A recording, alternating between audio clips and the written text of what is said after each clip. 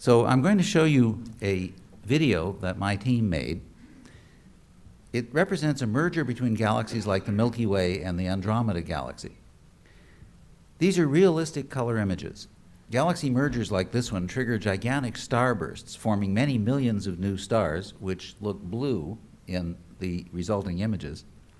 But dust, which appears orange or brown in these images, absorbs up to 90% of the light, especially when new stars are being formed, and this energy is re-radiated in invisible long wavelengths. What we're going to show is just what these galaxies would look like to Hubble Space Telescope. So there's one galaxy, say ours, and now we'll set it going toward this other galaxy, say Andromeda.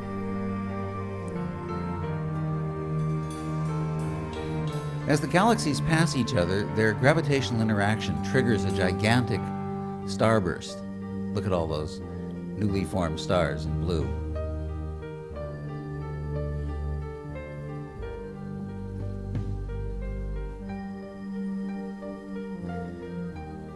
Gravity's pulling them back together. Their centers merge. And now the stars that surrounded these galaxies in a disk form a giant ball of stars, an elliptical galaxy. The whole process takes about 2 billion years. It's now finished, and we're moving the camera around the elliptical galaxy. There's a big dust lane about to cross the, our field of view.